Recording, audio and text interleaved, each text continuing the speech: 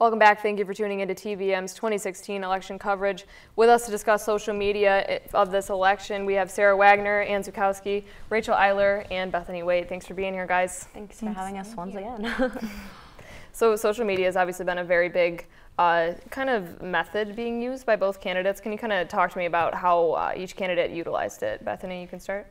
Well, you clearly can see like there's a strong difference in how each candidate chose to use it.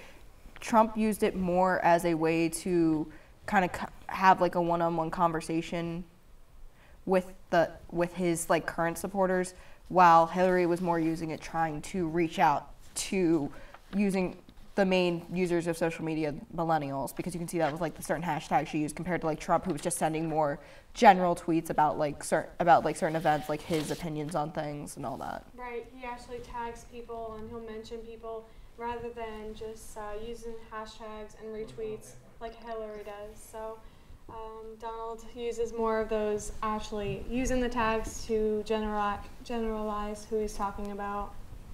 Like and on top a, of that, oh, um, not only is he in the debate and the candidates now, but he also used to be in the entertainment business, so his following's a lot larger and also the amount of audience he's reaching. So that's big too for social media.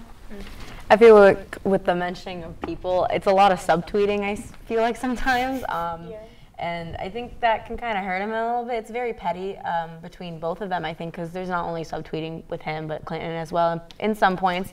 Um, but I think you know, there's a lot of memes going out that saying it's like two parents are fighting, and we just want to go live with you know, uncle whoever whatever.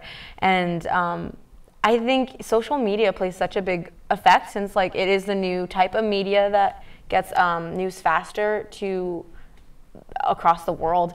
Um, and I think that the way they utilize it really, I think, even says more of who they are um, with their maturity levels. And social media, I think, adds a whole new level of saying something that you can't take back. I mean, that's always existed, that's existed yeah. in writing, that's existed on TV.